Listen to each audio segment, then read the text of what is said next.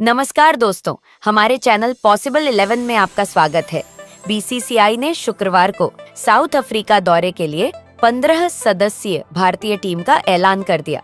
कप्तान सूर्य कुमार की अगुवाई में भारतीय टी ट्वेंटी टीम 8 नवंबर से चार टी ट्वेंटी मैच की सीरीज़ खेलेगी।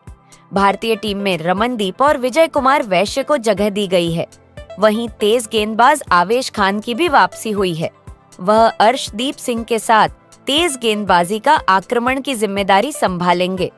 मेंस चयन समिति ने साउथ अफ्रीका दौरे के लिए भारतीय टी ट्वेंटी टीम का ऐलान कर दिया। बांग्लादेश के खिलाफ खेली भारतीय टीम में ज़्यादा बदलाव नहीं किया गया है। रमनदीप सिंह को टीम में मौका दिया गया है। वहीं विजय कुमार वैश्य, आवेश खान और यश दयाल की एंट्री हुई है। दोस्तों, जो भी न्यूज़ अपडेट हो जी आपको, सबसे पहले पॉसिबल 11 चैनल पर मिलेगी। उसे सब्सक्राइब करें और बेल आइकॉन को दबाएँ। धन्यवाद।